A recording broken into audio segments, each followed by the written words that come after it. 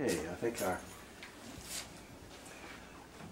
Good evening. We begin um, this continuation of Richard Rohr's book on Eager to Love, chapters 10 and 11. And uh, my name is Joachim Lally, Paulist priest, retired, so to speak, and uh, happy to be with you and welcome to all of you and all who are watching, live streaming, and uh, will be watching on our videos. So we begin with a prayer.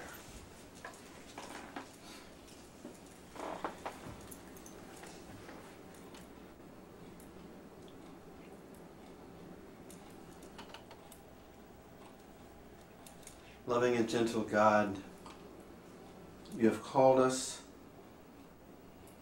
to follow in the example of those who heard your silent voice over the ages and responded generously. We give you thanks in a special way for Francis of Assisi, whose life we're studying now with Clare.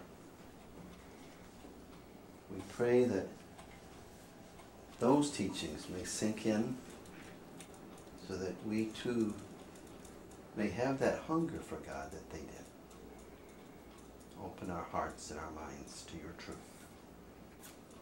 We pray this in the name and in the power of Jesus, your Son and our brother, forever and ever. Amen. Amen. Father Son. Okay, so we have a couple of interesting chapters here.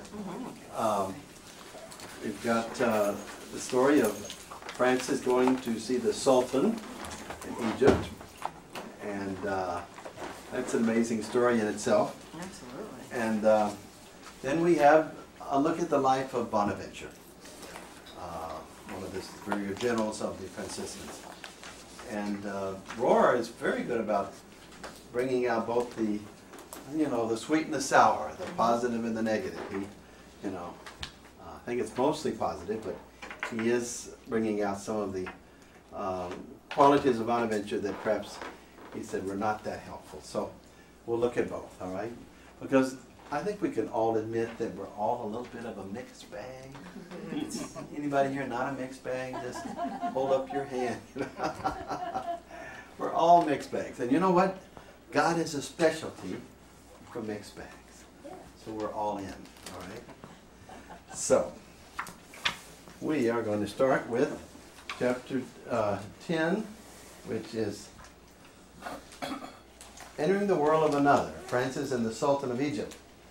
I love this quote. Um, he, he said this uh, before warning the Christian crusaders.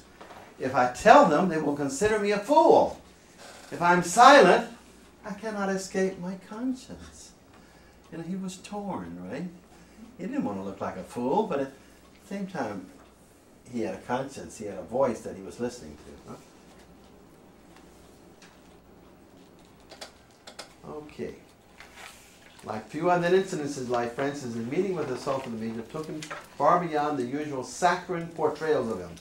Saccharine portrayals would be like Rohr kind of mentions sometimes the Francis of Assisi and the bird bath Yes. thing, you know?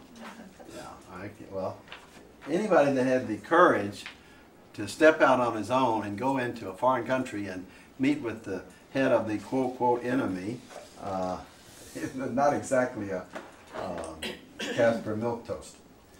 Francis's kind of border crossing is urgently needed in our own time when many of the exact same Christian Muslim issues are in play all over again. Isn't that interesting how history kind of repeats itself, huh? Now we're dealing with this in a very um, crucial way that I don't think we're doing very well with in terms of our relations with our Muslim sisters and brothers. He supposedly met with the Sultan Malik al-Kamil in September of 1219 in Damietta, Egypt. Okay, let's get some other voices in here. Who's going to read for us? Bob? Okay. Note, the mistrust, fear, and hatred between the, between East and West in 13th century and between Christianity and Islam matches what we are facing today. Only Only had stereotypes of the enemy. O- Only had stereotypes of the enemy. Right. You know, the, we, we label someone the enemy, Okay. and then okay, they're putting that stereotype, and and therefore you don't want to have any conversation with them. Okay, we were talking about that today in the in the uh, meeting with um, the conference by Thomas Reese, the former editor of the um, America, and now a writer for um, the National Catholic Reporter, and he was talking about the polarization and the two camps, and nobody wants to talk to one another, and uh, he brought up the issue of same-sex marriage and and how uh, this is happening, and it's going to happen, and the church needs to dialogue so that they can get some kind of a uh, compromise, uh, not to compromise their principles, but not to put them in the category of the enemy either. You know, it's important that we we uh, we keep these uh, levels of conversation open, right? And we, if as soon as you la- uh, label someone as the enemy, sinners, um, living in sin, whatever, you've just cut off all communication. All right. Go ahead. I'm sorry. Fervor of the anti-Islamist crusades began in 1095. There were nine crusades, and Francis intervened in the fifth crusade. Popes repeatedly used promises of eternal life and offered indulgences and total forgiveness for sin for those who would fight these holy wars that were then backed up by kings and official crusade pre- preachers.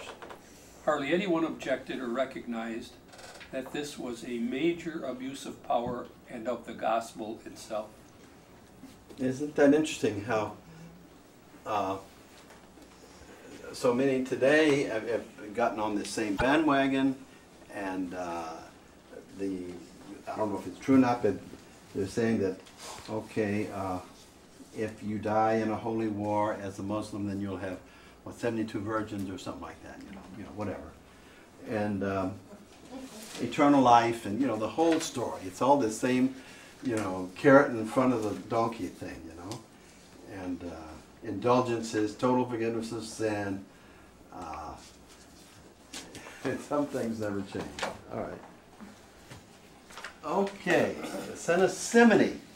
This comes from Simon, of course, who tried to buy um, uh, miracle and grace and everything from the apostles. It somehow stopped being a sin around the beginning of the Crusades. Isn't that interesting? Simony is any payment to receive sacraments, favors, offices, or ordinations. Uh, we notice that uh, Pope Francis has asked that the Catholic Church stop putting a charge on annulments. You know?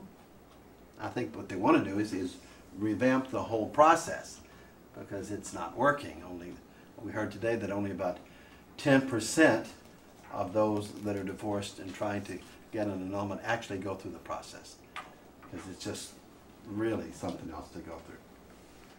Okay, if simony vanished, just like the sins of usury and violations of Sabbath rest, when it was no longer culturally admired or needed, conservative Catholics love to think that the church is semper idem, always the same. A true knowledge of history shows that it's not the case, and in fact, quite the opposite. You know, I think we find a certain, certain comfortability uh, in things not changing. You know, the, the Latin Mass, you know, it's always the same. All over the world, wherever you go, it's, well, you know, you're at home because you're in the Latin Mass. Well, isn't that wonderful? You, you don't understand it here, and you don't understand it in Europe, and, you know? so you're comfortable, right? But you're not uh, really participating very well. Crusade, justified by St. Bernard of Clairvaux, a famous Trappist, uh, preached the Second Crusade, and several popes uh, were supporting it. Crusader flag said Deus vult, God wills it, huh? That is just unbelievable how we put God in there to support our position, right? Francis said, you know, like the people that say, well, God said, and I tend to agree, you know, that kind of stuff. Francis said that this war is against the will of the Lord. Bonaventure played down Francis' opposition to make the Franciscans seem more attractive to Rome and the Christian patriots. This was thought to be a pious legend. So they played down this visit, the Franciscan did, because after all, Francis was trying to stop the Crusades and the Pope was pushing it. And St. Bernard and all these people were going out the whole country preaching the Crusades and encouraging it. And here's this lone figure, Francis, who dares to speak up and say, This is against the law of God. You know?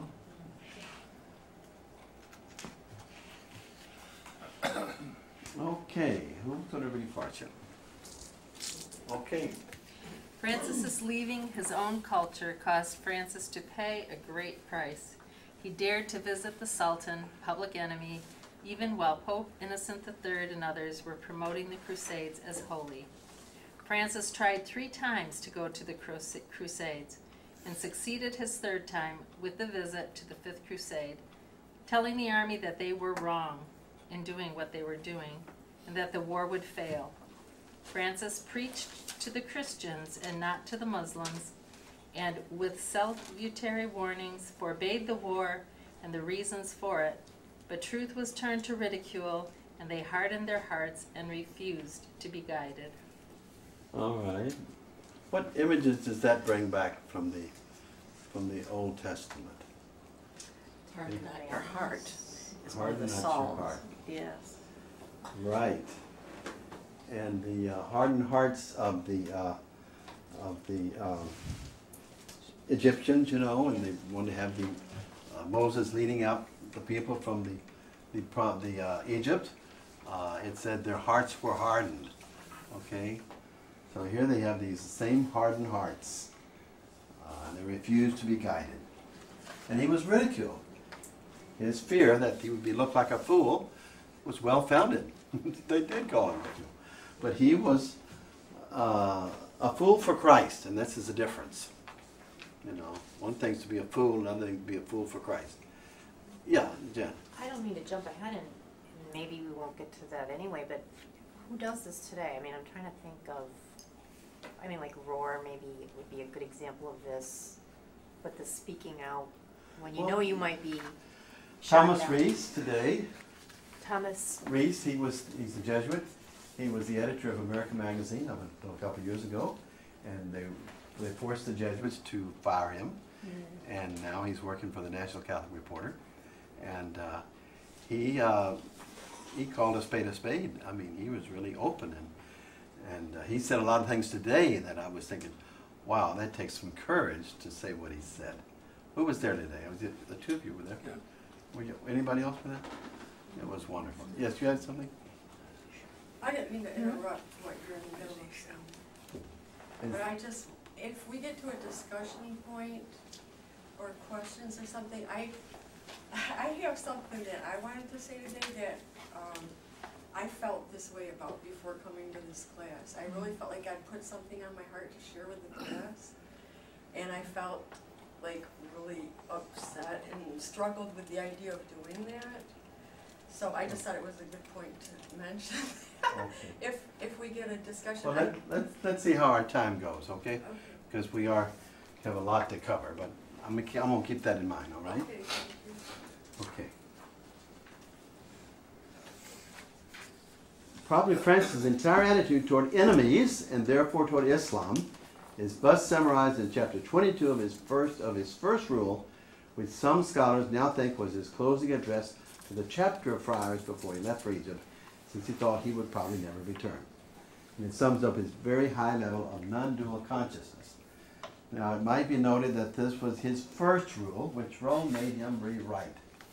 It was a little too simplistic for them. It was all about being totally poor and all of this. And uh, this didn't fly too well in the in the uh, palaces of Rome. Okay, but he said, "Love your enemies. Do good to those who hate you." That sounds familiar, huh?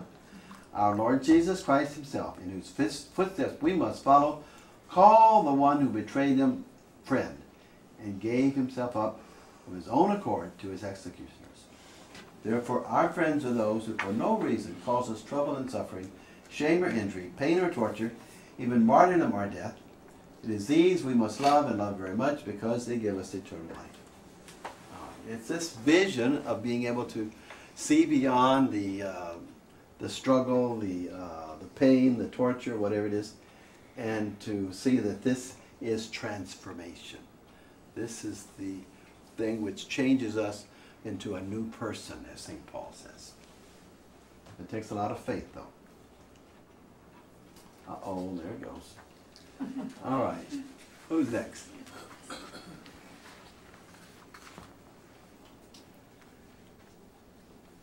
Oh. Okay, Ann, yeah. Visit with Sul- Sultan Francis's humility and respect for the other, and thus for Islam. First, gained him as much as three weeks with the Sultan, and second, the Sultan sent him away with protection and a gift, a sign of mutual regard and respect. You might have read that, uh, you remember what the gift was? A horn. Yeah, it was a horn that they call for worship, right? Okay, they still, Franciscans supposedly still have that, okay? Go ahead, yeah. With great wisdom, Francis was able to distinguish between institutional evil and the individual who is victimized by it. He still felt compassion for the individual soldiers, although he objected to the war itself. Francis felt that the soldiers were sincere in their patriotism, but an unpa- but unpatriotic to the much larger kingdom of God, where he placed his first and final loyalty. Okay, so here's someone who refused to judge the other person, although they didn't have the same opinion.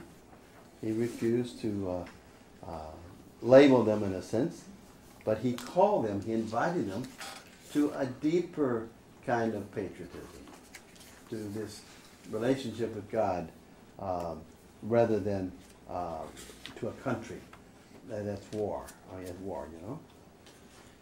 You know, Father, Yeah. you can almost get the impression, just reading what you've got here, this was just a pilgrimage. No, he was going into the bowels of, of the right. most vicious, horrendous, blood-curdling kind of situation. Yeah. Like going into an ISIS camp, right? Yeah, I mean, I mean, go and it took a tremendous amount of courage. Courage, oh my gosh. Now you can so- see why they call him uh, uh, God's fool, you know? I, I use that, I've, I've done a lot of um, clowning, you know, and I call myself not a clown, but a fool for Christ. You know, I've taught clowning in, in Canada, United States, Puerto Rico, Dominican Republic, Mexico, just little, you know, brief times. And uh, tried to use a lot of symbolism and, and little skits and everything to get across uh, a truth or something, you know? And so uh, uh, I know that this has not made me a potential to be a bishop. Okay? they don't make bishops out of clowns. Okay. So when I decided to go into this ministry, I said, "Well, okay, you're blowing your chances, your." of course, there's never been a Paulist bishop yet, so really, I didn't. There was not much chance of that, and there probably never will be. yes. Did, he did say that he thought he, he would never return. Right. So he was really laying down his life. He was. He was ready to friends, give up everything. Enemies. What courage, huh? Wow. Not exactly your uh, your Francis of Assisi in the bird bath, right?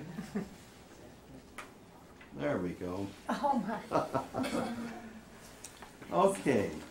Uh, who, who read last? Did someone read it? Or did I read? You read, Okay.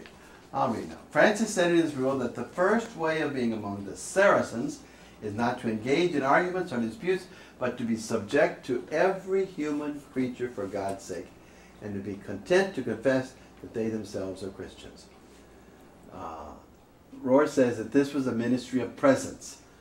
Francis urged his followers to only resort to formal preaching if they could see it as God's will.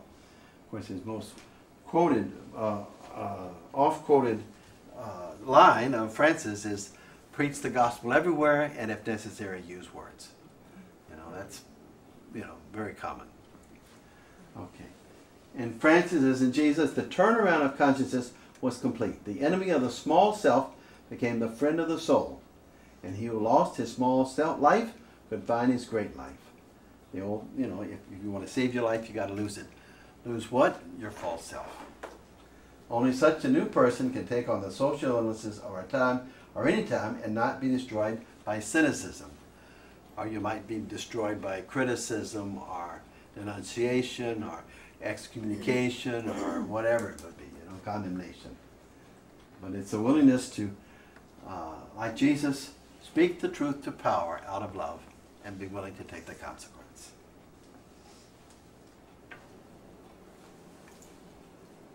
Okay, who's reading this? Did you? Our wonders, however, one wonders, however, if the dualistic and contentious mind that we now take as normative can understand, allow, or support this kind of radical spirituality, or any leaders who would talk this way today. My sense is that we have not progressed much beyond the exact dilemma that Francis stated in 1219. If I tell them, they will consider me a fool. If I am silent, I cannot escape my own conscience. Okay. All right, well, this is the uh, end of this chapter, okay? Kind of a short chapter.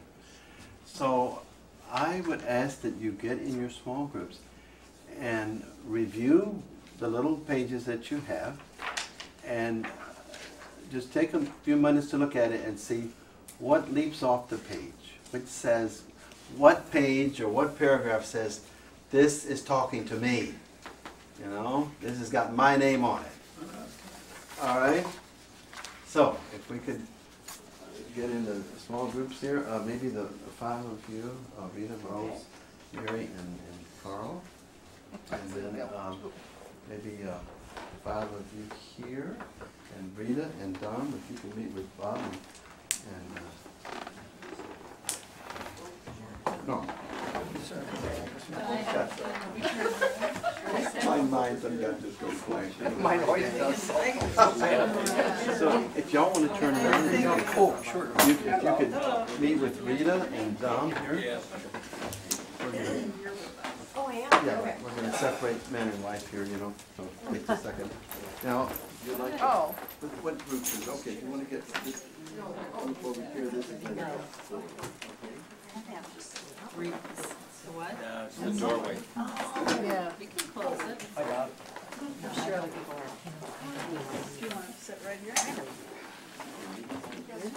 Okay, yeah. Yeah, I agree.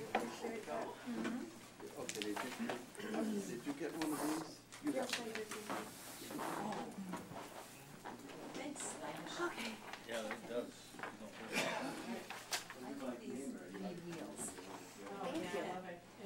The same color. Yellow, blue, pink, and the same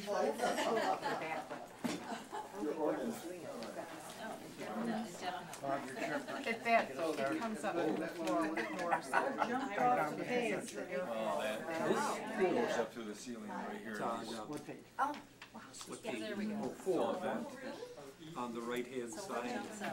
Jumps out? Soldiers were sincere in their patriotism, but unpatriotic to the much larger kingdom of God.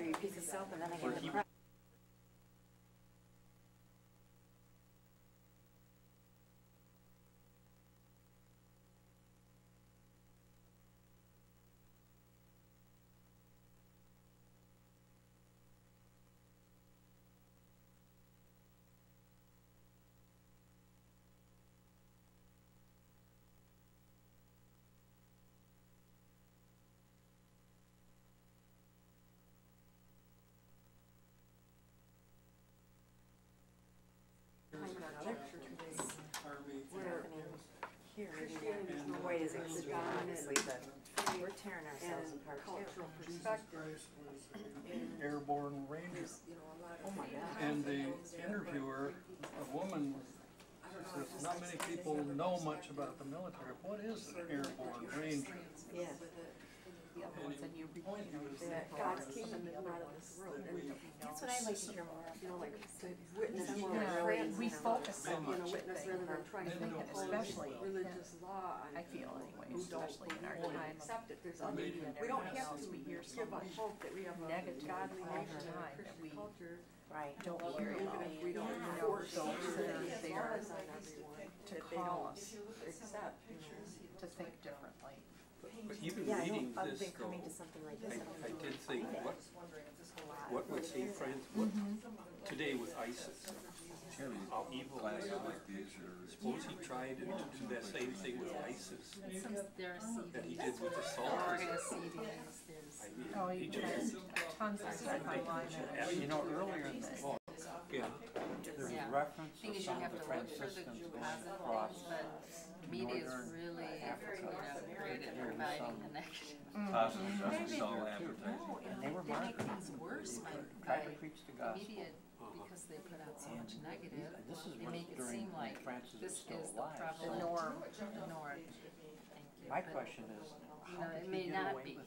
It just yeah. might be How like did he go sells- sells papers, to sells even deeper potential whatever, things? online ads, uh, who knows, but But there's something the enigmatic reality is that the the majority of people have hope just and protected good them. conscience. You know, yeah, that they would Yeah, respect one of the other pieces that jumped off the page. it's hard to say, you know, but he, maybe he would conspire if um, he went into ISIS, whereas others might. Individuals are always, It's a good question, but not always, individuals use the phrase, oh, this is what God wants. Oh, well, God said, and What I God tend to agree. said. Sometimes you don't want to ask permission. Where did they you get just these do it, and then profound later words on of God, you know, they say, saying, "Come there, God go, said, oh, yeah. sorry, it's I better to didn't ask know." for forgiveness Yeah, than right, to ask for On permission. page Yeah, and I three, can't remember top in the Yeah. book if, if you Well, I know he ask was very permission. sick, God Is wills that- it. deserves not to go by his But how contrary, if I easily remember people reading buy into it. I mean, I don't think he had official permission you know, with the Rome. kamikaze If he would have, pilots I and don't know if stuff he even had to ask, but And now we've got these people from Um, martyrs that, you know, feel like they're doing, yeah, they're doing the, it uh, because it's God's will. the response to the, uh, evil in the Middle East, enough of the though, real it is, love of Jesus. No. I have to think that uh, John Paul They look for II, love anywhere, and was someone opposed "Oh, this will make God love you. the invasion of Iraq, on on and go in. and yet Pope Francis said that ISIS has to be stopped. I think it's So I really did important to have your own relationship with Jesus, you know, to, to be in scripture, to read. Depends on the, how the Yeah, listen to what, what God is telling you.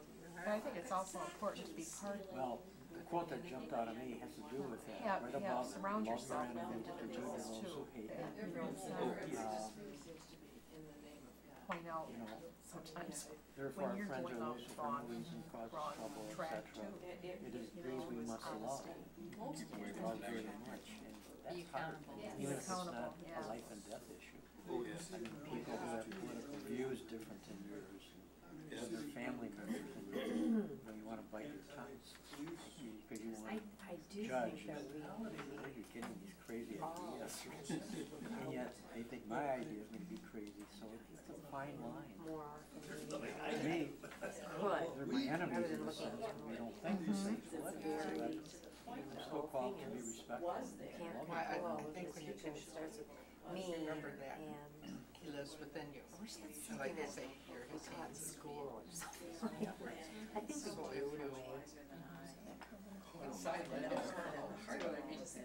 And that it's, you know, that I think it's possible, but otherwise it's just you Like crying. the plank in your own eye. Right, right, you're fighting, you gotta- exactly. No, no, it's like, uh, Yeah, oh, Like well, Michael know, it's your Jackson, fight, here. look at the man in the mirror. I'll hide behind you. Exactly. Yeah, Or- it's Yeah. gotta start there. that is a great Your And it's like, I feel I like think the principle of I St. grew up in a Francis that where was brought up in our talk we didn't look applied carefully greatly at to that. That. It was Which is have a concern for a higher kingdom, to not even get wrapped up in all that, because that can alienate people.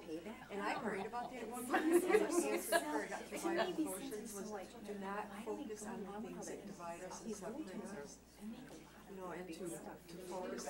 And the community, and then you can truly be an impact, have an impact. A lot of I've people never have a seen mixed up idea in this culture, like they go on a, it's a wonder that almost an angry rampage, like protesting at funerals and stuff, instead of winning with love. And I believe in winning with And- love. There's a other verse in Romans eight and it says, to to- ju- it's the goodness to of judge God that leads my behavior, you can't Not get arguing another person's not psyche, you wrong, not trying to force your rules on them or your laws or anything. Yeah. To win them over. I was struck by this page Do you have your heart set on that higher where, thing? where he did say he wasn't sure, he It thought will he come out probably in how never do return. everything with people. And he was brave mm-hmm. And to you won't even feel the draw to get driven wrapped up in that. And then he- you know, it can promise help rise you above that, so I But like that's that so different from the like fanaticism. Because what you talked about, you know, but it's talking to somebody and they, agree with you, and I think like without me too, they, they seem to know which if I could ever buttons to push with me, and then I react didn't with go anger, and that's not certainly going to win he anybody.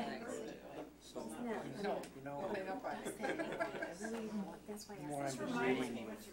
I hear more about those people that I know by reading this war, it comes up there a lot. I was in college, that was my freshman year when that happened. I Well, was he from came Ohio, back so I didn't go to Kent State. I to all of the priests.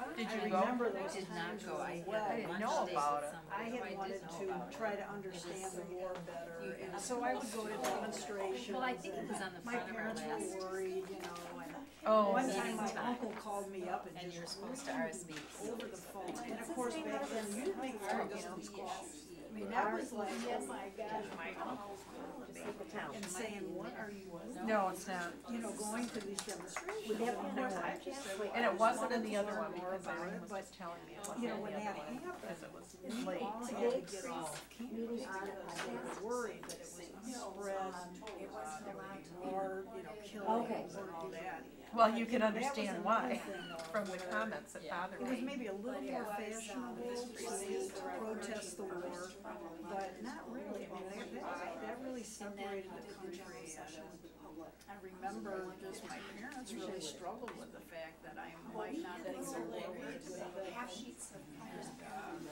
You know, you wonder what Francis would have said at the time. She did announce he it mass on. Monday. I wasn't there this week. And So.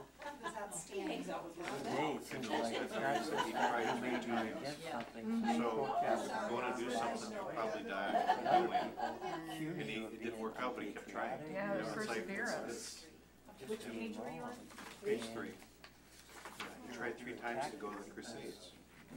And his third time, he, Feeling he different than made, he you're got there. And also, he went not to, suspect. um, And he went that's to another great sadness. tell the is that we're not soldiers not to fight. all, I mean, that could Even have if it's been peaceful, extremely because difficult. They must have sometimes thought he was a unpatriotic. I Or mean, then really, like the soldiers that came home. talking to them because they're so They were psyched up like, with us. uh, People were upset It just with fits him. into Which was something terribly about wrong. soldiers. Which was wrong too. Yeah, I mean, exactly. it was, the whole Yeah. thing was on the just radio saying, the way it was was handled. scared, I didn't know. Okay, let's Sometimes think we take a minute think just to we really are, and they probably were, but, I mean, Well, it's They're like Laura kind says, of not it's dual, it's really not dualistic, it's not one, deep I inside mean, their there's a lot of gray as area. scared. Mm-hmm. Mm-hmm. And, uh, We make them seem like they have to be.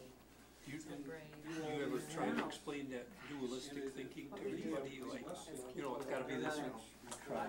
Yeah, and it's, It's a Um, hard thing for people to wrap their that? mind Yes. around. They haven't now. been, they haven't been exposed to it through classes and a lot of reading because when I started reading for three or four years ago, I found It's just me. I'm- No, we've all sat in that position there, so we I don't know. right or Huh? Nice hooded sweatshirt. I always bring something sought to warm for for that. because I never know. Both and, not either or. But it is hard, meditation from so trying every to day. explain that to Mhm. someone I really like that. is, all you can do is live it. I do because, well, good Being thing example. right now, it's, it's That's just what I a found continuous most useful follow-up is of the now teaching that he's doing with Taught that and whole help people piece right now, deal with it. so. Find it. I can make And then on myself Saturday, peaceful like we you just just a call summary. I always save those in my inner power. Easy like. I have a folder. I'm like, this May is not so. get I have a folder for our now, and a people folder for way. Rohr, and I have a folder yeah, for Great word, yes. another bingo. priest, That's a whole thing priest that I've been words. following, Rolheiser, Gotta I have right. that, a folder for him too. And fo- Okay, let's start back. We do, and, and you're the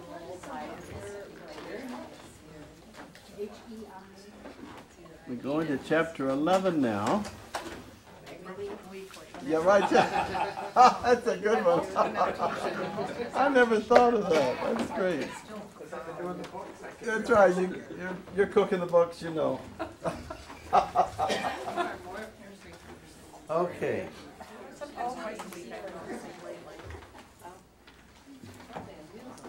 It's interesting. The name Bonaventure, huh? Means good adventure. You know? Good adventure.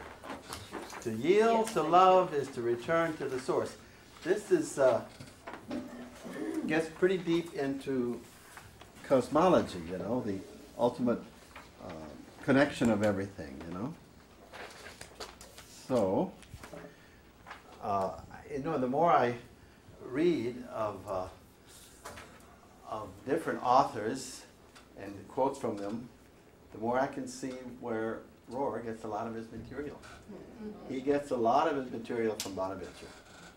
This whole thing about the uh, um, oh, what is this? Uh, the great chain of events and the um, oh, we'll get to it in a minute, but I'll point it out. But it's it's uh, it's you hear it in other talks and books of Rohr, and uh, rather I'll read it in Meister Eckhart and Julian of Norwich and uh, Bonaventure. That these are some of his favorites, I think, and Thomas Merton, of course. Okay. There is no other teacher who takes the vision of Francis and Clare to the level of a total theology and philosophy, a fully symmetrical worldview, as well as Bonaventure of Bagnoregio. Uh, now, see, Francis was not a theologian. Uh, Bonaventure was a trained theologian. He was only 57 years old when he died. Of course, you know, in those days, that, that was pretty old, you know. so, because in my view, he was to Francis what Paul was to Jesus. Both the less radical in some ways than those they interpret, but both help followers and thinkers to know what Jesus's and Francis's lives might be teaching us in a more systematic way.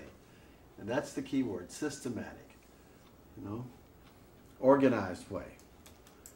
In depth. Bonaventure is called the seraphic doctor of the church because his writings are so filled with the warmth and fire that was associated with the seraphic order of angels. He integrates contemplation with an extremely active life. That's the goal, I hope, of everybody is to be an, uh, an active contemplative. Combine the two, action and contemplation. Okay, Bonaventure's vision of God, life and faith. Who's reading, please? Oh, it's me. Bonaventure had little or none of the language of medieval fire and brimstone, worthy and unworthy, sin, guilt, merit, and demerit, justification and atonement, that has taken over within the last five centuries. His vision is positive, mystic, cosmic, intimately relational, and largely concerned with cleaning the lens of our perception and our intentions so that we can see and enjoy fully. Bonaventure unless we are able to view things in terms of how they originate, how they are to return to their end, and how God shines forth in them, we will not be able to understand. Okay, we're going to get those three issues at the end there. Um, the how you the how they originate, the example they give, and the uh, ultimate end. But um, that part that's in bold there, his vision is positive. Does that sound like Rohr? I mean, positive, mystic, cosmic, relational, cleansing the lens. That's a favorite uh, phrase of Rohr, you know. Uh, and so it's it's really uh, an abnegation of the previous fire and brimstone, worthy and unworthy, sin, guilt, merit and demerit, justification, atonement. That is not good news. That is old news. That is the old, uh, okay, you pay the crime, you, you put the time in. You know, it's the crime and punishment thing, right? Uh, but most people were raised on that. They're still going to church because if they don't, if they die, they'll have a mortal sin of their own and God's going to send them to hell. People still believe that. I often wonder what would happen if I would get up and say, all right, everybody, um, you really don't have to come to church, you know. It's not a mortal sin if you don't, you know. I think whoever pastor who would have me in to preach would probably, you know, shoot me right after that. You know? They wouldn't invite you back. I would never be invited back. And it's, it'd be interesting how many people would come back. How many people would come if, if they didn't think, oh, they're obligated to come. Yeah. But I tell you what, if, as a priest for 50 years, I can tell when people are there because they want to be there. And you can tell the people that are there because they feel they have to be there. They're obligated. You know, they don't have to look at their watch. They just blank stare at you. You know, they just they're just like saying, "You have nothing to teach me. I'm. I wish you'd get through so we could get out of here." That kind of a look. And it's very difficult to preach with that kind of people, that kind of glare that you get. You know, it's challenging. Let me tell you. You could tell by who's looking at people. Oh yes. Oh my gosh. You feel it. There's a feeling there that you know that people are just looking at you, and it's going in this ear and out the other. Uh, they think they know everything. They've heard everything in the third grade catechism. And so, what else is there to be told? Really? They've got it all down, you know. Uh, mortal sin, venial sin, sanctifying grace, you know, eternal reward, punishment. That's all it. You know, what else is there? Yeah.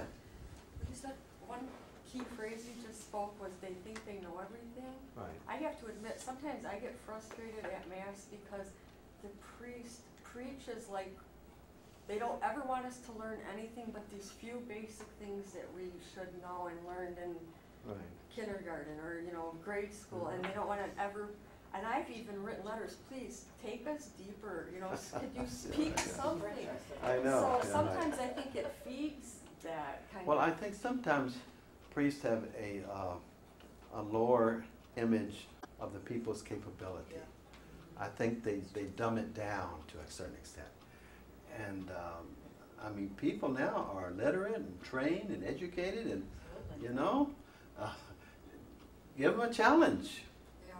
You know, don't give them stuff to memorize or the old uh, same way of saying it story. You know, no wonder people yawn and they're nodding, but they're not nodding in agreement. You know. You know, priests, priests are also just human too, and That's some right. have gifts of preaching and some don't. Some have That's gifts true. of being one-on-one. That's true. But uh, Francis, in his people uh, uh, Joy of the Gospel, puts a lot of stress on priests learning how to Learning preach how. well. Yeah, yeah. That's one of the main reasons why people come to church is they want to hear a really good homily, you know. Because everything else is there in the book and everything, the canon and everything, you know. But the that the, that the thing that is new and uh, you won't get every Sunday the same way is the homily, you know. That's why I put a lot of work in mine. Oh my gosh, you know, nothing to spend two, three, four hours on a, on a homily, you know. It's just you know that this is all the spiritual food people some people are going to get all week. And I- great preacher. Oh, well, thank you. Thank you. I love to preach, you know. is love you. I love to preach. All right, who's going to read this now? Okay, yes, Jen. Bonaventure knows that Alpha and Omega are finally the same, and the linchpin holding it all in unity is the Christ mystery, or the essential unity of matter and spirit, humanity and divinity. He speaks of the necessary cycle of loss and renewal that keeps all things moving toward ever further life. Okay, so here he's bringing in the whole issue of dualism, and Plato the struggle between matter and spirit. And uh, so he's speaking of the uh, unity of matter and spirit, not the dualism, but the togetherness. Okay, go ahead. Bonaventure's theology is never about trying to placate a distant or angry God, earn forgiveness, or find some abstract theory of justification. He is all cosmic optimism and hope. Christianity became preoccupied with fear, unworthiness, and guilt much more than being included in and delighting in an all pervasive plan that is already in place. Okay, this is powerful. You know, uh, but but this is a man that lived in the 13th century. You know, it sounds like you know Rohr today, right? And what happened since then, in the 700 years since Bonaventure was alive? Uh, we we went down into this road of fear and unworthiness and guilt. Uh, and it's like it made Christianity something not exciting. It was just, you know, dull and uh, And not Um, joyful. and not joyful. Very good, Mary. Beauty Not joyful. You know, it's supposed to be a celebration. And if you get, you know, uh, and a lot of it was on the presider. I mean, I, I admit that, and I'm uh, critical of, of uh, my fellow priests because, um, I mean, with a lot of work and a lot of effort, you can make it joyful. You can make it that way. But if you fall into the routine and, well, the Lord be with you, you know. Uh, I mean, that doesn't sound very inviting, does it? You know. Uh, it's it's, but all of it is based on going deeper and deeper in your own spiritual life. And if the presider does not go deeper and deeper in his spiritual life, they have no well springs from which to draw from. And so it's going to sound like same old, same old, right? Okay, let's go on here. Bonaventure, the frame of reality was still big, hopeful, and positive. Know, it's this cosmic thing, big, hopeful, and positive. That's cosmology. Profoundly Trinitarian. Here Rohr expounds on this by saying that most of Christianity was Trinitarian only in name. It's mainly been a worship of Jesus, who was extracted from the Trinity, and thus Jesus apart from the eternal Christ, who then became more a harsh judge of humanity than a shining exemplar of humanity. Okay? What's the difference between a harsh judge and a shining exemplar? What's he talking about there? What's a shining exemplar? Yeah. Well, somebody that we can follow, that we look up to, not because we're afraid of him, Right, because, but because we want to be like him. right. Yeah, that's, Okay, like Rohr says, if you, uh, he's telling, he's telling more and more people, if you want to know what it's like to be a Christian, hang around with one. It's contagious. It wears off on you. You know, if you're really around someone that's very humble, that humility rubs off on you. It's, it's like we're interrelational, okay? It affects you. And if someone is very fearful and and just uh, everything's got to be by the book and everything, uh, that also rubs off on you. So it's like, you know, the old thing about in Spanish, you say, dime con quien tú andas, yo te diré quien tú eres. Tell me who you walk with, and I'll tell you who you are. You know? We have, do we have a similar thing in that in English, don't we? Birds of a feather. Birds of a feather. Tell me who your friends are, I'll tell you who you are. Right. Okay. Okay. Wow. Okay, who's going to read this now? Yeah, okay, read it. Bonaventure's strong foundation in the Trinity gave him a non-dual mind to deal with the ineffable mystery of God and creation.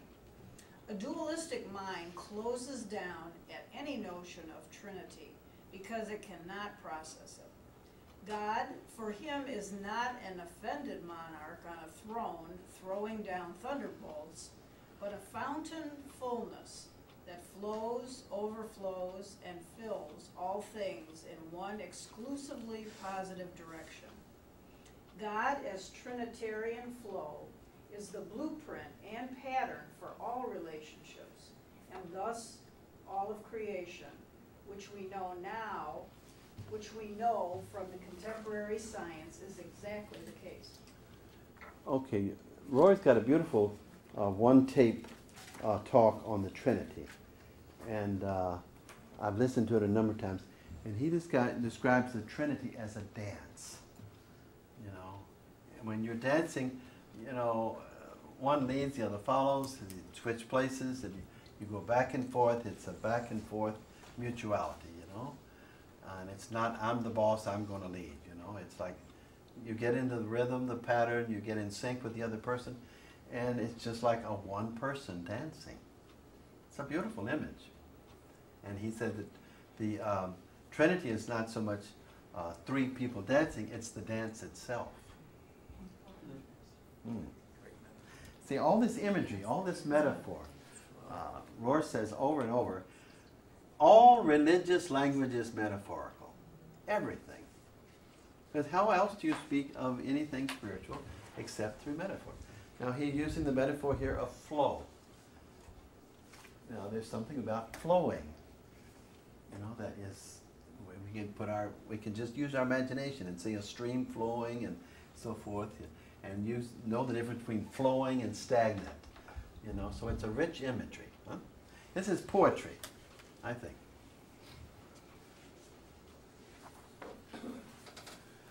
Okay, Rohr is drawn to Bonaventure for the following reasons.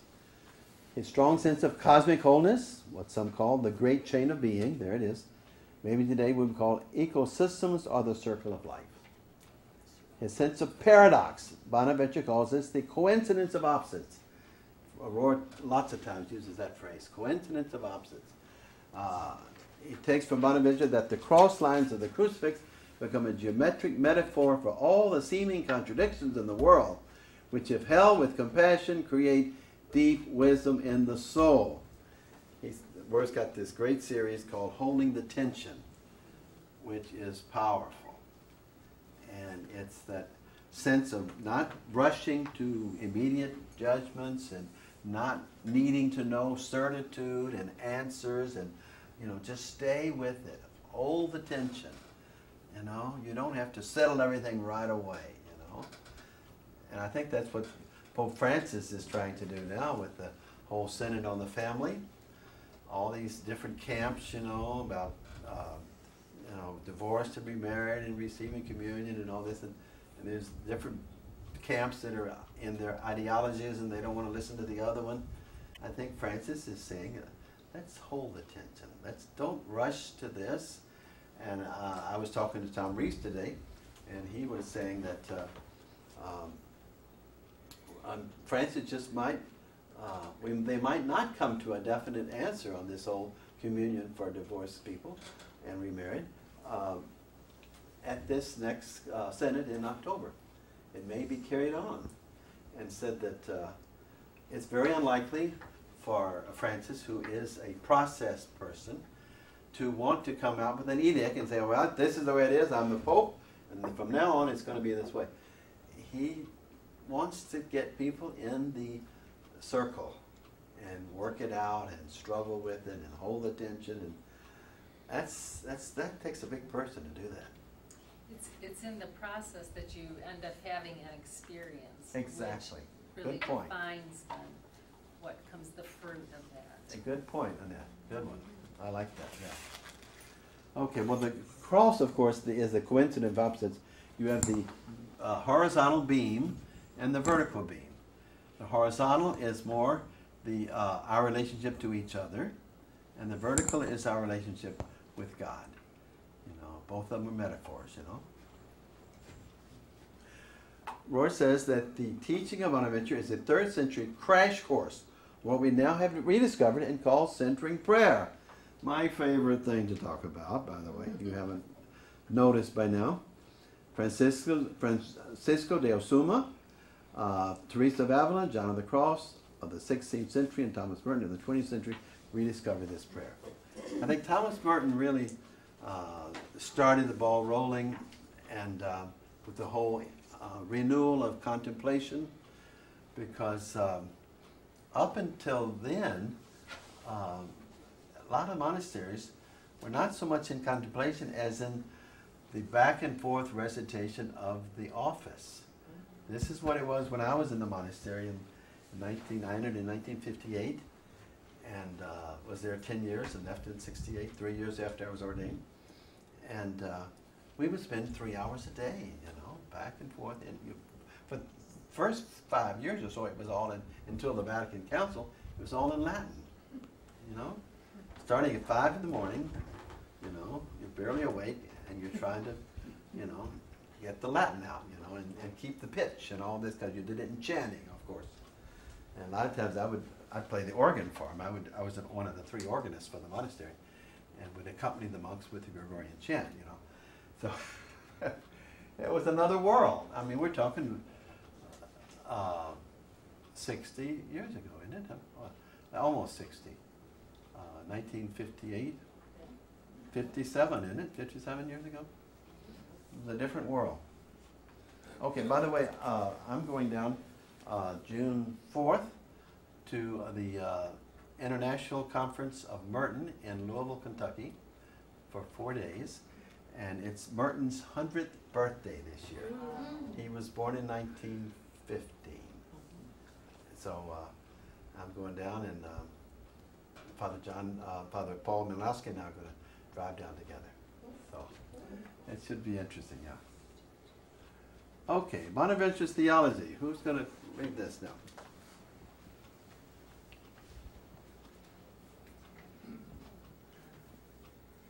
Bonaventure names the three great truths that hold everything together for him. Emanation, we come forth from God bearing the divine image. Our very DNA is found in God.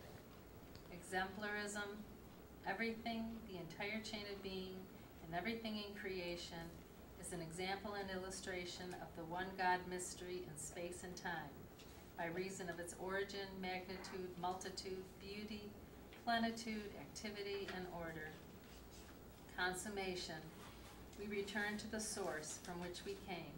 The Omega is the same as the Alpha, and this is God's supreme and final victory. Okay, so it's the complete circle. We came from God. Um, Christ is our exemplar. Christ showed us how to live and how to love, how to receive love, how to give love.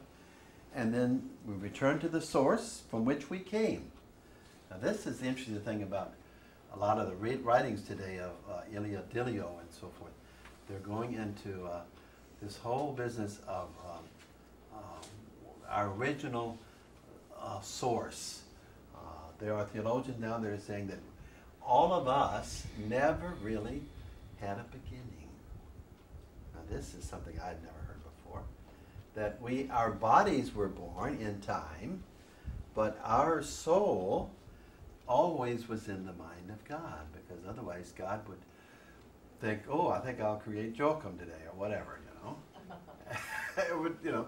So I, I'm just starting to learn about this, but it's a really interesting phenomenon that uh, is very thought provoking, I can't really speak at length to it because I'm still learning it, okay?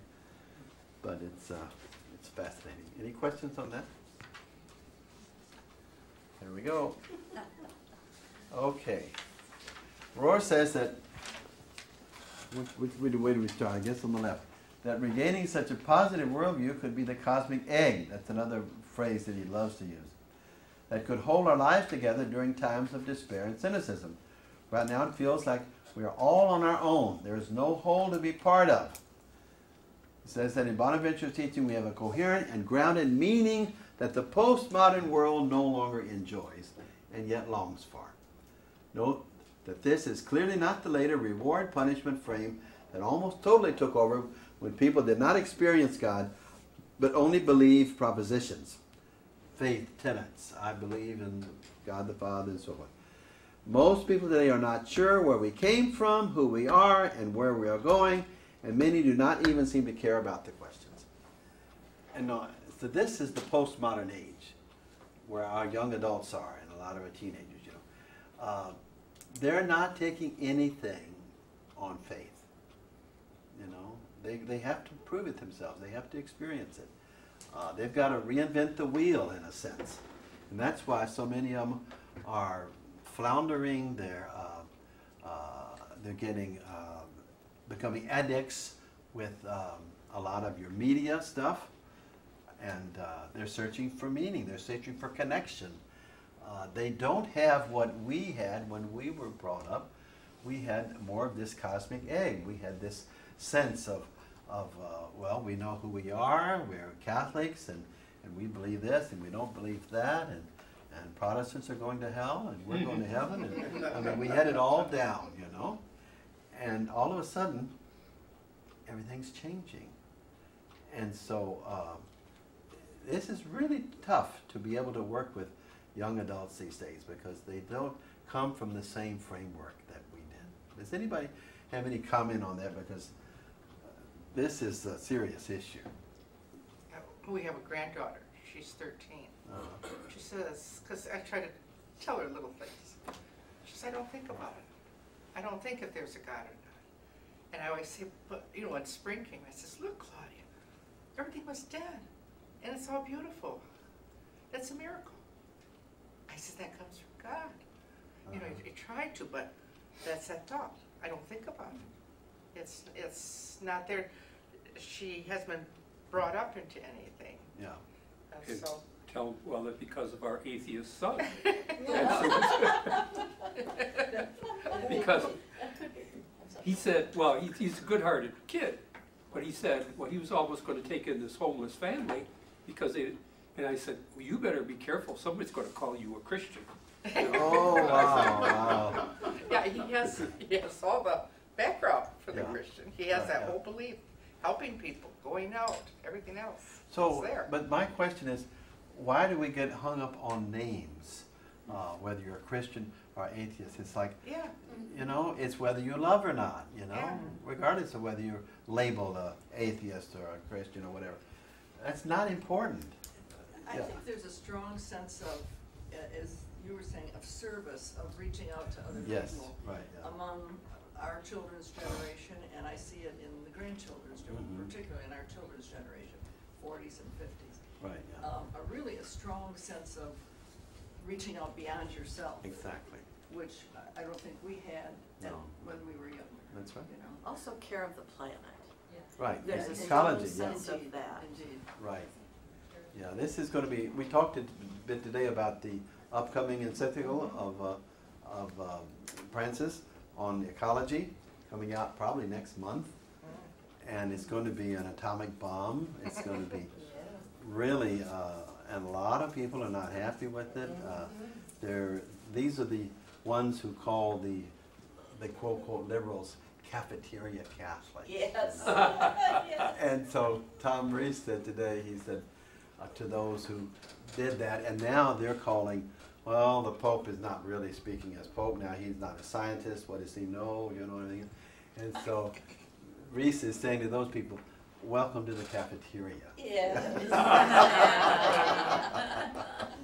I thought that was a good point. You had a point that, Well, I think this week, uh, on his daily meditations, Rohr was talking about the Desert Fathers. yes. And there was a comment, I haven't read today's, but one earlier this week about sometimes atheists and those who claim to have no, no faith at all are closer to what the Desert Fathers were really s- preaching than, I mean, in their lives, in the way they live their lives. Why do we have to label people? Atheist, agnostic, uh, you know, Christian, or, whatever? you know, it's like, is it really necessary? I, I think can we just take people where they are and love them as they are, and that's the way God does? You know, we don't have to put them down by saying, well, you're, you're an atheist, or you're agnostic. It's such a, it's such a derogatory kind of a statement, you know, because, They're proud of it. well, I know, but I don't think. I've got a good friend who's I don't proud think they really day are. long that he's atheist. Well, I I- enjoy having a beer with him, but, you know, I just, I just deal with his language and ignore it kind of thing, you know? Yeah. Well, they may not use the same language we do in terms of, True. you know, faith and everything, you know. But it's like, okay, the old thing, you'll know, they'll know you're Christians by your love, you know?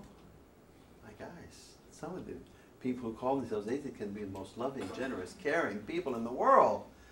And who are we to say, oh, well, they're an atheist? Maybe they don't go along with a particular framework of expressing their, their belief system and put it in this category of Christian or Protestant or what, a Jewish or Muslim.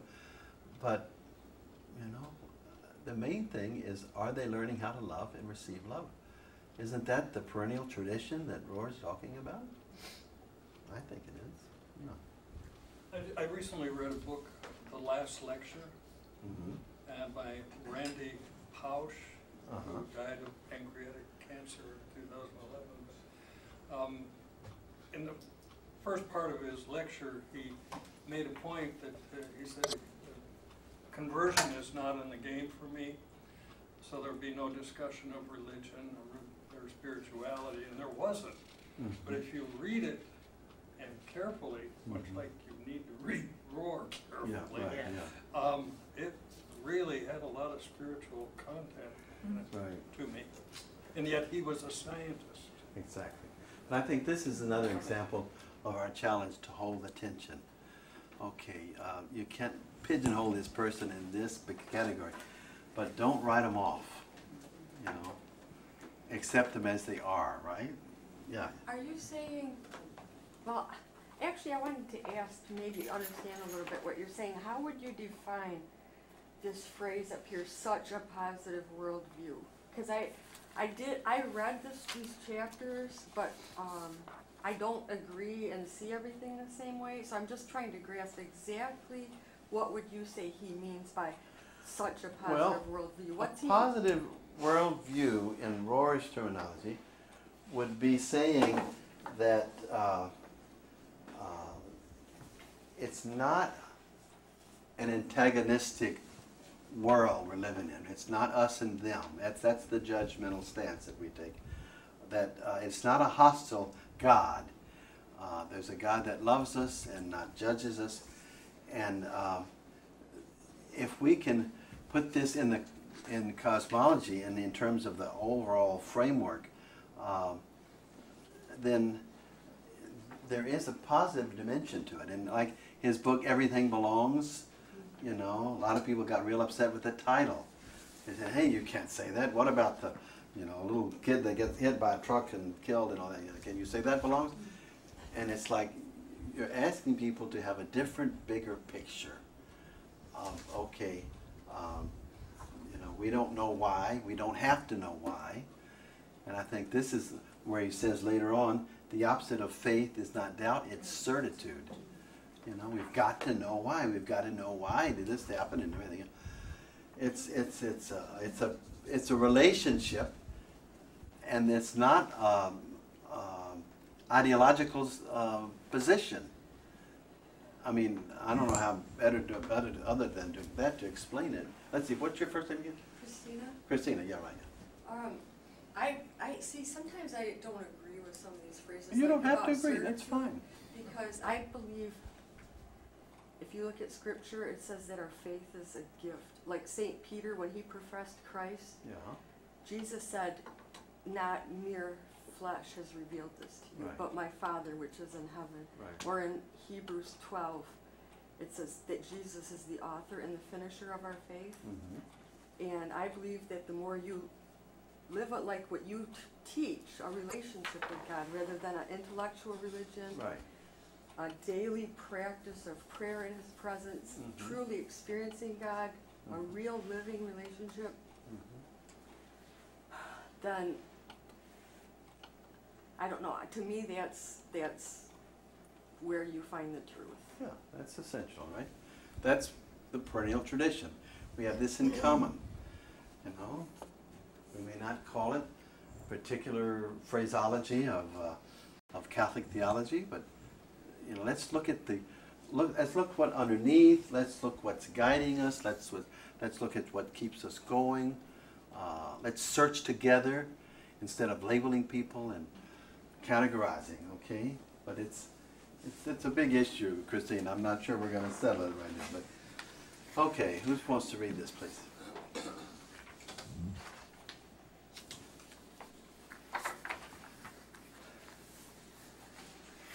Bonaventure speaks of a cosmic connectedness, saying that we are that we were created in unity, proceed forward insofar as we are in unity, and return to God's full gift of final unity.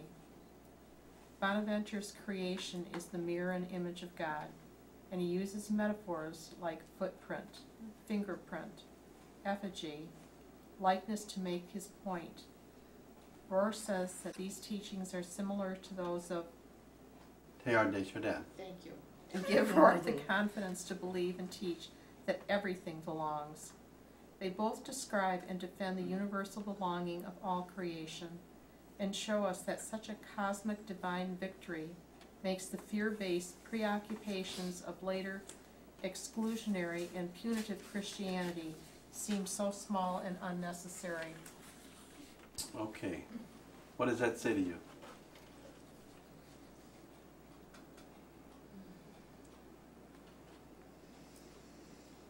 That we were wrongly taught when we were, were young. I mean, I'm sorry, you know, you're talking about punitive Christianity. I know, I know. Well, that whole stuff that everybody else is going to hell was just unnecessary because we're all connected Yeah. with God. It's this connectedness that is so powerful. You know, I preached this, all the messages this weekend out at St. Pius. And um, uh, it was the, I am the vine, you're the branches, you know. And I said, okay, last week, it's, this is what Rohr calls identity theology. I am statements. Last week, before this, was I am what? The Good Shepherd. And this week is I am the vine. They're all kind of I am statements. I am the way, the truth, and the life. I am the light of the world. Uh, you know, there's just a lot of them, you know. Uh, I'm the Alpha and Omega. I mean, look at all these metaphors they use, okay? But I said it's all about who you are. What's your identity? Who are you? Once you get that right, everything else falls into place. Because if you realize who you are, that you are not just here by accident, that you are loved into existence by God and will be with God for all eternity, um, then you have this sense of being grounded in something that's firm and strong and loving. And uh, I said it's all about, Jesus never said you must be right. He said you must be connected. John's gospel, remain in me and I in you. It's all about intimacy and not morality. See, we put the emphasis on morality. You lead the good life, you be good, and you'll get rewarded. Um, that's not good news. That's same old, same old, you know. It's the fact that we are already united. We just need to wake up to it and be conscious of it and realize it. You know? And it's and realize your connectedness. And if we realize our connectedness with every her person, we wouldn't have war and killings. If we realize our connectedness with nature, we wouldn't be exploiting the earth. It's just our lack of consciousness of our unity. Yeah, you have. How do you learn connectedness? Because part of it is gangs form because they're not connected to family or other people, and they form these other gangs. ISIS, I think, is draw people in that aren't connected. So I think that there's a, you know, all this uh, media stuff. I think creates more separation. Oh, it does. Um, so that connectedness is a big problem today. I think marriage is sometimes um, people don't want to get married right away. They'll Right. live together. Um, Mhm. it, it's like there's a, a reluctance to make that connection, and they get married, but then they don't have kids. It's like there's another. Right. th- There's a lot of things that there's much more caution and Mm-hmm. difficulty with connection, and I think that's a big problem in the world and how to to build up that just in society, people Yeah. connected. If you don't have that, how do you connect to God, which is so much more. Abstract, you know? And so, Oh, I think you made a really good point, Joe, and I, I think that what it is is what we long for and hope for the most, we also fear the most. You know, it's just so precious. We just we hesitate to risk it. It's the pearl of great price. It's the treasure hidden in the field. Uh, at this unity, we want to be united. We want to be connected. I mean, what's the whole cell phone and Twitter and all this kind of stuff? Facebook, what's it about? Connecting. I want to have a thousand friends on Facebook, you know. I mean, okay, like electronic connection. yeah, I know that's that's We want Not to the be same connected, but we're afraid of the connection with something that's not exactly like ourselves. Yeah, that's true. Yeah, we, we were afraid of the other. We are. Yeah, just like, but Francis went to the other, the Sultan, and showed courage. He became an exemplar for us of But he had reaching a out. vision of the other that was also a creation of God. You know, he see the, he saw that connection with he God, and so he could feel like it's worthwhile to make that risk to connect with this enemy. Right, because he was a mystic. You know, he Yeah. he was his religion was not based on belonging system or a creedal system, and that's the definition of a mystic, the one who is not based on your belonging system. I'm a Catholic, you know, whatever, and my belief. I believe in the creed. You know, those are the two foundations. A lot of people, that's their foundation. But if you go beyond that, that's first half of life. If you go into the second half of life, you get into the mysticism, the wonder, the uh, holding the tension, the not judging, you know? So if, if we believe that we are in, in- born and created in the image and likeness of God, then, oh, that person is too, and so are That's they. right, yeah. And they are the other, and then That's you, you have to be able to accept that there will be tension because, you know, we have a similarity, but we also have some differences and, but, you But- know? But the connect, If Go we ahead. don't really believe it, like I said, genocide's a symptom of the deep self-loathing and put, if we don't believe we're a child of God, that's when genocides happen, because we don't believe they're a child of God either. That's right, that's right. I right. know. But the way to do this and put down the other and kill them and everything else is to judge them out of relationship, to label them. Like what do we do in the in the war uh, in uh, Vietnam and everything? You call them gooks. Well, you can kill a gook, well, they're because they're not real, you know. Or you can kill a wop, or you can kill a commie, or you can, go, you know, you got to label them in some way, so that and otherwise you got to dehumanize them, which is a way of deconnecting, disconnecting. And it, it's that's why I say be, let's be very careful about our language, and not labeling and not judging. And for instance, and and just stop right now. I try to any use of the word illegal. Well, they're illegal. No, they're people who may not have papers, but they're not illegal. Because as soon as you call it illegal, then you've got a justifiable reason to put them down or shoot them or whatever it is, you know? So labeling is very important. Yes. Descriptions are much better than labels, you know, but they're not as much fun, you know, so. Okay. For many in our time, an initial reverence for the universe leads them to the then reverence whoever created this infinity of mystery and beauty. As Francis said while looking at the stars one night, if these are the creatures, what must the Creator be like? Cosmology is the new name for much of theology. It's the arena that's, that's opening up for us, cosmology. Rohr says that the entire universe is about connection and relationship, from the smallest atom to the galaxies and everything in between. Sin and evil emerge when we try to stand outside that circle of connection. That's why Rohr uh, says the definition of sin is disconnection, separation. That's what it means to be in sin. Bonaventure's worldview was not only coherent but also dynamic, in that if you name and honor things correctly, there is this naming, right? Labeling. Everything then takes care of itself. But if we get sloppy and use all of these labels that we've been brought up with and, and use things like, oh, you're an atheist or you're illegal and, and uh, you're gay or whatever it is, uh, you're breaking down relations. You're, building walls instead of bridges. Rohr's, let's see, um, Rohr says that we have mainly been presented with a tentative identity. I like that phrase. You might be a daughter of God if you are good enough, girl, and that only in the future. This makes us fearful and adrift.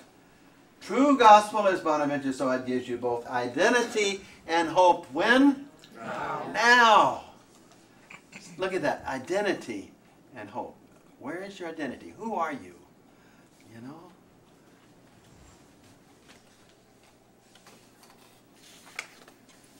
Okay, what's legacy? Let's go into that. Who's reading? Bob, okay. Great philosopher and theologian, but first a passionate believer, a Christian, and of, or course, of course, Of course, a of friar. course, Okay. a friar, But let's just look at the word believer there. believer. yeah, Believer means someone who's connected in relationship. It's, belief is not an intellectual assent to a truth. And that's where we get off in, in the whole atheistic thing because uh, if they don't believe my exact definition of God and everything, well, they're an atheist. No. You know, are you in relationship? Are you connected? Are you loving? Okay, go ahead. Great exemplar himself of action and contemplation. Rather than stay in Paris and teach alongside St. Thomas Aquinas, he traveled for 17 years. Rohr says that this allowed him to teach and write as a worker in the fields instead of a professor at a university. Getting- Darks, he was getting his dirty with the sheep, in other words, okay? oh, yes. That's right. All right. Like the, the pastor is supposed to smell like the sheep. Smell like the sheep, yes, And then exactly. Norma pointed to our pastor. All right, okay. All right. Keep, keep reading. Dark side, dark side of Bonaventure, practical problem-solving side, partly responsible for the clericalization of the friars minor and for the diminished role of the lay brother.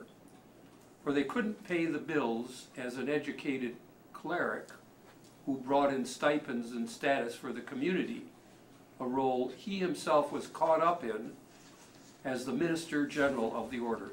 Okay, so this is the problem-solving, practical side of Bonaventure. Who's going to pay the water bill? Who's going to pay the gas bill? You know, uh, lay brothers, they're wonderful. We love them, but they can't go out and offer mass and get mass stipends. You know, and so through the years, you have this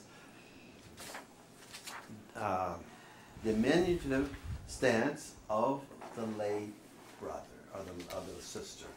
And when I was a monk in the monastery, uh, we had three divisions. Uh, well, actually four. We had the, the ones who were studying to be a lay brother, and they had their own uh, dormitory and study hall and all that. And those studying to be priests had their own dormitory and study hall and that. And then, once you become uh, a seminarian, then you're a frater, which is the Latin for brother. But you had to distinguish between the real brother. The lay brother was the one who was not ordained, okay? He was a monk, we're all monks, but the lay brother, they had their own chapel, they had their, their, uh, their prayers in English, while we were down there struggling with Latin. I, oh my gosh, and we were in Arkansas, of course, where it was really hot. And they had this, they had a small little chapel on the second floor that was air conditioned. They had air conditioning in English. I envied them, let me tell you. I com, I committed a sin of envy. And, but we were not supposed to talk to the lay brothers without permission, you know? They were not supposed to talk to us unless we were their confessor. Would that be dangerous? But, and if you, and if you, you spoke with, like, if you spoke with a, a lay person who came into the monastery, uh, without permission or anything, you you were supposed to confess in front of the whole community. Once a week, we had the con- confession of faults. You would kneel down on the floor and throw your scapular out and kiss the floor and, and kneel down, and in Latin say, I broke separation. I talked with a lay person. Or I talked with a brother, or I talked with someone I wasn't supposed to. That was the big, that was the big thing, and also breaking silence. You know, after nine o'clock at night, you were not supposed to say anything unless it was absolutely urgent. And uh, during the day, you're only supposed to talk if it was necessary. I mean, it was like, wow, ten years I was in this, okay? So, uh, but I know the classification, it was a lower class. It was a caste system. Lay brothers were not on the same level as ordained. Where did this, where is this in the scripture? Show me where that's in the Bible, huh? But this was way back in the time of Bonaventure, and also it's been seven hundred years in the making, you know, well, from Benedict's time in the sixth century. Did it teach you character? Pardon? Did it teach you character? Well, we had, we, we had a lot of characters. let me tell I was being facetious. you. Believe me, I can tell you some stories. You know? Okay. Number five, made his biography of Francis the official one. That's what Bonaventure did. He was the boss. Repressed other versions in various ways. He desired to prevent the soft piety and legend that was developing around Francis, but his censorship has denied us many important early sources. So, looks like Rohr has done his homework and, and historical research and brought back some of these aspects of, of Bonaventure and Francis, okay? He glossed over some of Francis' peacemaking efforts with the Muslims to make his order more acceptable and orthodox in the view of Rome. It's supposed to be and, A-N-D. I- okay. Hedged his bets with the radical poverty of Francis, not sustainable in the eyes of Rome nor of the friars themselves. Fra- Francis wasn't even dead yet, and they were uh, really uh, changing all these things about poverty. Francis didn't want the Franciscans to own one square inch of land. Before he died, they were owning property. Right now, they're the probably biggest property owners in the Holy Land. The Franciscans have almost every shrine over there. You name it. They're just, oh yes, they've got almost a monopoly on the Holy Land, you know. Uh, everywhere you go, there's a Franciscan friar there, making sure you don't go where you're not supposed to go. let me, I experienced some of them myself, let me tell you. So, I don't know which is more terrifying, those Franciscan friars in Holy Land or the nuns in Venice. But uh, they both put the fear of God into you, let me tell you. Okay, who's reading now? I'll read. Okay, Joe. The core principles of the Center for Action and Contemplation is practical truth is more likely found at the edges and at the bottom of most groups. Just the reason why Francis wanted to stay close to the bottom and at the edge, the only way to be prophetic. Bonaventure was a mystic, a theologian, and a brilliant teacher, but not the prophet that Francis was. He paid a price for being at the head of his order and in academia for so many years.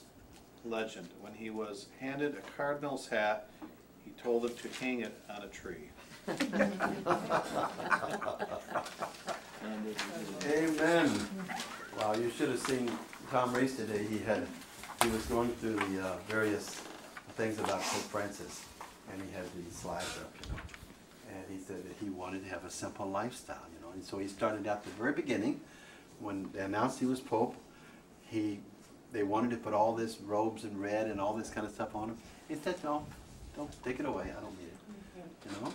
And he comes out, and instead of uh, of saying in Latin some profound Dominus Vobiscum or whatever, he said Buonasera. Yeah. He said good evening, Yeah. you know? And he just won over the hearts of everybody. And then, then what did he do the second thing that was so heartwarming?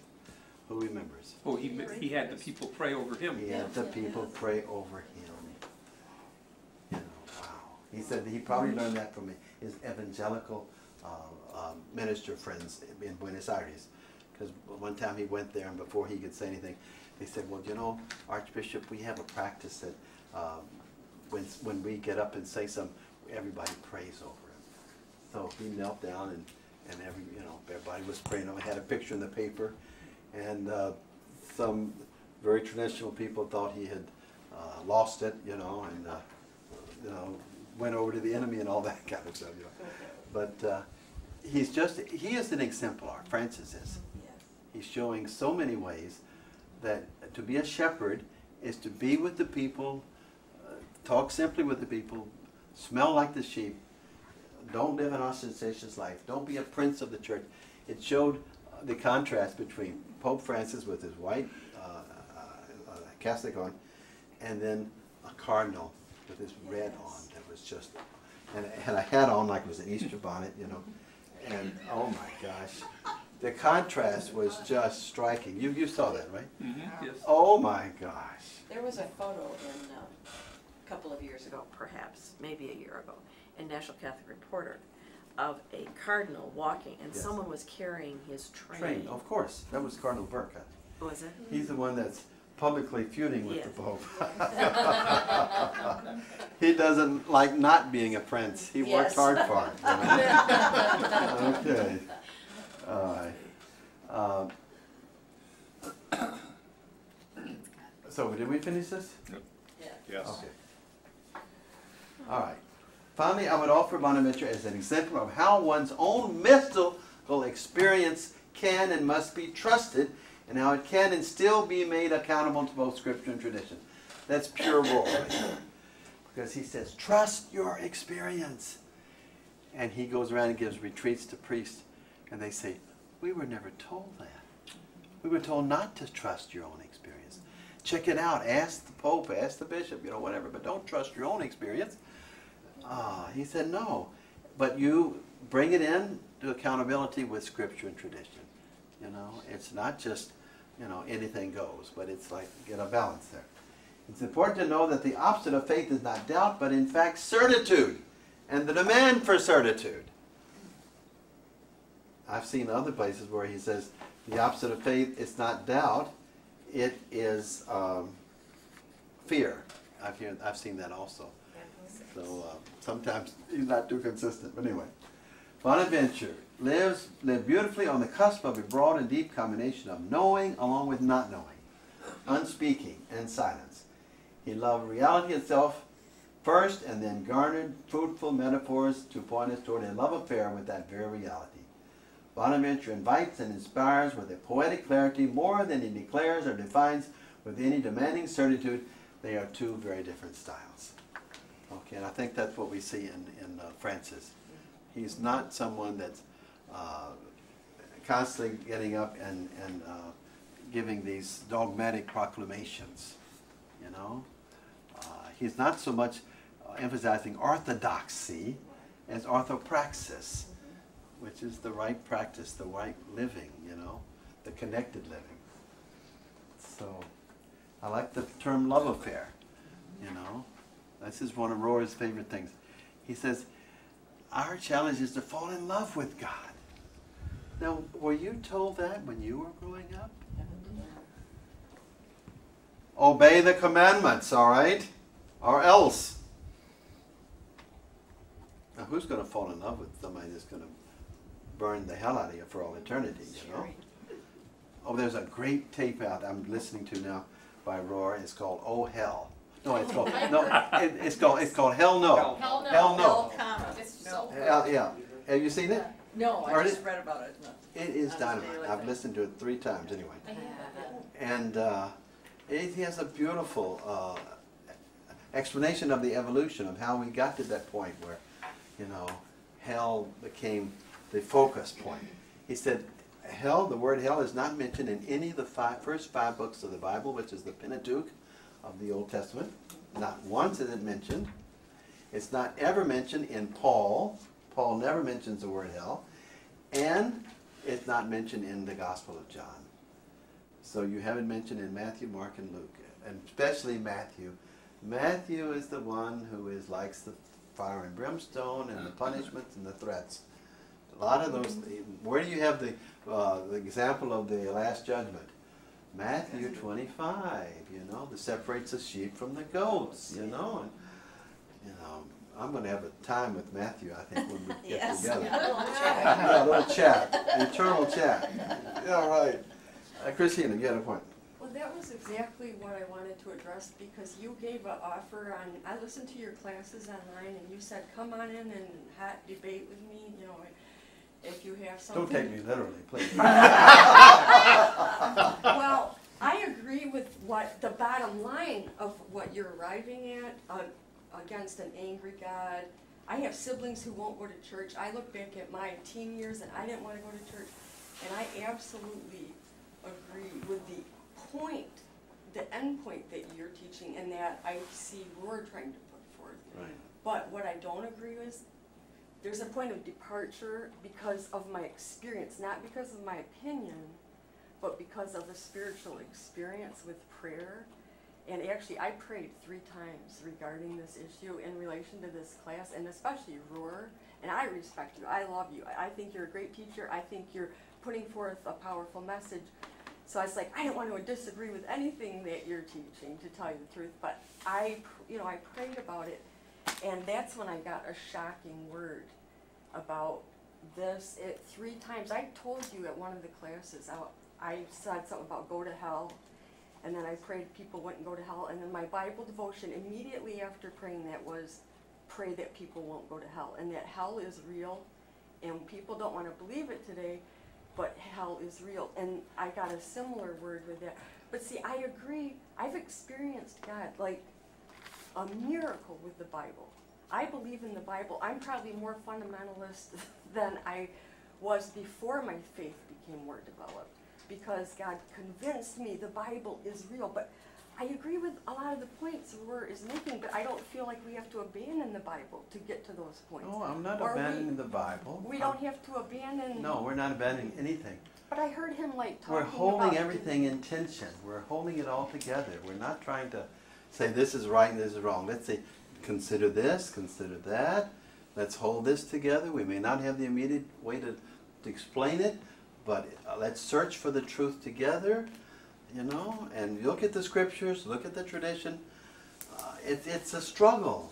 In the Spanish, we say una lucha. It is a struggle. But it seems like Rohr, like I listened to some of his online videos, and I actually heard him denying the cross of Christ. That an ang- he put it in terms of like an angry God and a blood sacrifice, and God can't have good thoughts or feelings towards us. and Yeah, I don't. Christina, I have listened to Rohr, I cannot tell you how many countless hours, yeah. and I have never heard anything like that. So I think maybe you may have misunderstood something, maybe he was quoting something, but uh, I have studied more over and over, and you can always take something out of context and say, okay, now, you know, but I don't want to debate it with you now, okay? Okay. But I respect what you're saying, and uh, I just want to say that um, we pay attention to where you are and where we all are, and we search together for that kind of truth that makes us one. So um, let's not continue that, okay? Maybe we can talk afterwards, but um, Well, I just, I, it- to me, I am so sold on the Bible, and I was praying about that, you know, like, I cannot believe, like, I prayed, I wrote a whole list out of the okay, answers. Christy, I really don't want to go into this, if Okay. you don't mind, okay? But it's just, I have seen I God know. work miraculously I through know, okay. Scripture. Can we talk And I know afterwards? that hell is Can we real. talk afterwards? He told me, I know hell is real. Okay, let's talk And I know the right. gospel of Christ. Okay, let's look at this last one here. Bonaventure according to Rohr. Totally Christian and yet presented universal truth and themes in such a way that a mystic from any religion would and could appreciate its teaching. His Christ is bigger than any single denomination. I like that. Christ is bigger than any single denomination. You know. An early Teilhard de Chardin, a process theologian, seven centuries ahead of his time. Process theology is the philosophical and theological position that God is changing as is the universe. Therefore, our knowledge of God must be progressing as we learn more about Him, and it can never rest in any absolutes, which is why process theologians deny the absolutes of God's in, in, immutability and truth. Uh, process theologians are really holding everything in tension. They are really looking at everything and they're uh, not saying, well, it's always been this way and this is an absolute, we can't even question it. Uh, they're searching. They're the absolute searchers. And uh, so I think that uh, Teilhard de Chardin was one. Teilhard was condemned. Uh, he was silenced by the Vatican and his, and his Jesuit community. Um, and then afterward, after he died, his books just went all over the place, and uh, he's accepted now. But like so many, they were, they went through Meister Eckhart and all so many others. They were condemned, and, and then later on, oh well, maybe they weren't so bad after all. And, and is not Elizabeth Johnson, Oh yeah, uh, someone who is being criticized Yes, for, exactly. I, I certainly wouldn't wish to quote her, but that the universe is const, God is constantly creating Yes. and recreating and recreating. It hasn't process theology, stopped. Yes, right. Yeah, and see, I think uh, some people, for the sake of of being uh, comfortable in certitude. They want to say, this is absolute, this is the way it's always been, this is the way it always will be. We cannot change it, and just memorize it. And I think people are saying, no, I don't think so. You know? I remember when the earth used to be flat and everyone was happy. And then someone came along and changed everything and know screwed it. it all up. But it was flat and happy for a long time. Well, some, some people are still living in that world, let tell you, so. And I don't know how happy they are. Okay. Bonaventure would have no problem putting together creationism and evolution, recognizing that God has created things that continue to create themselves. This is this process theology. And is so humble that God, as an anonymous donor to his creation, what a beautiful phrase. Right. Anonymous donor to his creation. Way to go, Bonaventure. Remains fully hidden except to those who desire to see. These are the mystics, okay? Bonaventure neither had neither denial nor resentment. His heart was never stingy, but always generous and what? Eager to love. That sounds like the title of this book. Bonaventure's tree of life, his coincidence of opposites, his journey of the soul to God, his great chain of being, each made joyful room for everything in one divine circle of life. What a beautiful phrase. God for him is a circle whose center is everywhere, but whose circumference is where? Nowhere. And now you know that all things you included, you included, live safely and happily inside of that one good circle. There you have Bonaventure. I really never knew Bonaventure till I learned him in this chapter. You know? Thank you, Richard, because you know I didn't know we had such a, a pearl there. You know, you always learn something new, huh? Look at there. the final curtain. All right, June third. That'll be the. Um, I don't. We don't have one in July, do we? No, you said no July or August. No, July and August we're taking the summer break. All right. So, uh, Aren't you gone then? huh? Aren't you gone then? Uh, The June fourth, the- he's leaving. Oh, okay. June the third. No, uh, I'll. I'm coming back June second. I'm leaving. I'm having my my 50th anniversary mass two weeks from Friday on May 22nd at the cathedral at six, and you're all invited. And if you'd like to come to the uh, dinner afterwards, uh, Irene will happily sign you up. And then uh, that's on a Friday night. The following Tuesday, I fly to Boston to have my 50th there because I spent 26 years in Boston area. Party. And uh, it, I, mainly, I was 20 years in charge of Hispanic Youth Ministries for the Archdiocese of Boston. So we'll have a combination Spanish-English celebration, you know. And then uh, I'll come back on Tuesday, the 2nd, okay, of June. Okay, and then Tuesday, Tuesday June the 2nd, uh, a friend and I have tickets to go see Kinky Boots. It's wonderful, Yeah. in New York, it's wonderful. Oh, I don't, I want to see it, I want to see it. Forget the title, it's Right, wonderful. yeah, right, okay. Sounds kind of kinky, huh? It is. Okay.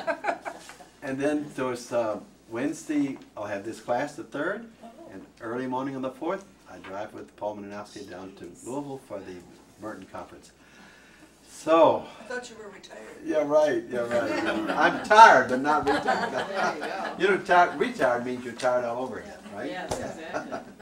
So anyway, uh, just any time for a couple of questions or anything, comments? Uh, Yes, uh, Don? This is just a comment. I'm I'm reading a book called The Something That Is Nothing. It's the it's the history of the number zero, of the digit zero. Uh-huh. And this quote you just mentioned, a circle whose center is everywhere and whose circumference is nowhere, is mentioned in there. Is that right? I, it's- I just read it late in the book.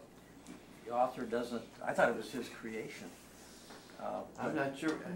I guess it comes from Bonaventure. Well, yeah, I'm gonna go back now and see if you Yeah. made reference to that, but I thought that was a powerful statement. It is. Because he's talking about how mathematics can help us understand some, some of Exactly. the concepts of the universe and philosophy. But to see this quote appear in a secular text like And that. from the thirteenth century. Yeah. It's blind mind you know, because uh, Rohr goes into mathematics, he goes into nuclear physics, Newtonian physics. Uh, I mean, this guy, as there's no end to his search for truth. And he's able to synthesize it in a beautiful way. So I think we're indebted to him. Because I don't know how we could spend all that time reading all the books that he's reading, you know. Okay, I think we need to close now, Christina. So, but, uh, thank you for coming. Uh, let's have a final prayer.